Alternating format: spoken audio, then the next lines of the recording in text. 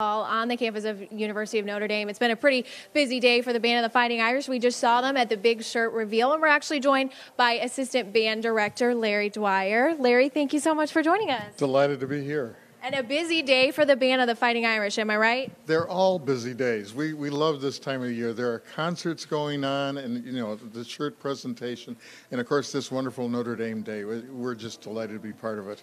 Yeah, we've seen a lot of students in and out of here, and they're coming in for a concert tonight. Is that right? Yes, there's a concert starting actually right now of the band ensembles, all the sections like the clarinet choir, the brass choir, the saxophone choir.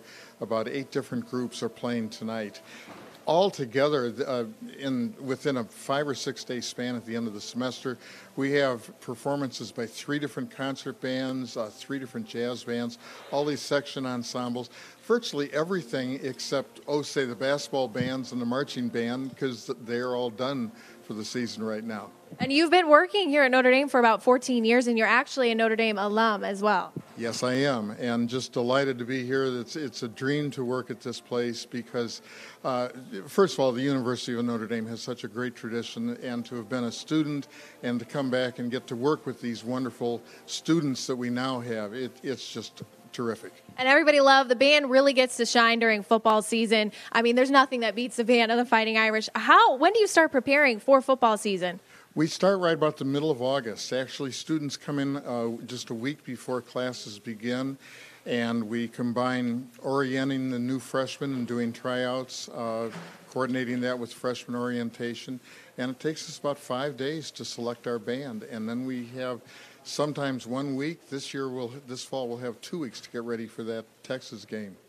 And it's a pretty good workout, too, all those lines and coordinations that they have to have known when they go into that game day. Yes, and some of the students who come here have never marched before, oftentimes from small Catholic high schools where there might be a nice band but no marching band. And I always say if, we, if they know which one is their left foot, we can teach them how to march and do it well. And uh, uh, actually, the students in the Notre Dame band do a tremendous amount of the work in teaching the incoming students how to march. Yeah, and one last one last tidbit of advice for kids, maybe parents watching at home who want to be on the band of the Fighting Irish.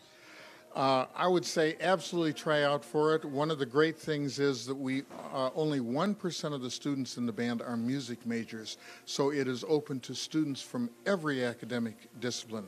And uh, they all do extremely well academically, and they say being in band here for four years best decision they ever made. All right. Well, thank you so much, Larry. We're good. That is it from here from the Ricci Band Rehearsal Hall. Let's head back to you.